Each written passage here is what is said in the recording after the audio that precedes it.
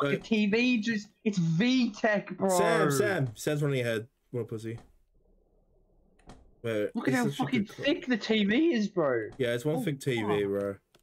Oh, do you reckon you could fit that up Sam's ass? Do you reckon if we like Wait, look at me like that. Yeah, bro, why does it why is it just go in a straight line? I'm at the end. I thought it was endless. Kind of, they lied to us, bro. False, false advertisement. Yeah, do you reckon we could sue them, dude? Yes. Wait, there's two ways to go. Station or yeah, I'm not gonna SCP. SCP containment breach. Yeah, you didn't realize? Do you not secret guy? laboratory. We could go SCP or we could play Exit 8. Yeah. What are you looking at, bitch?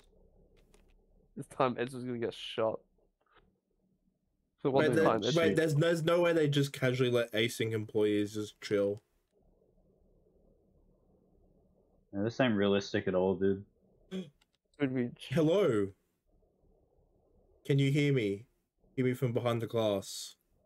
Do you have a name? You don't have to trust me, but I will protect you. I trust you. You look like an upstanding citizen, Yeah.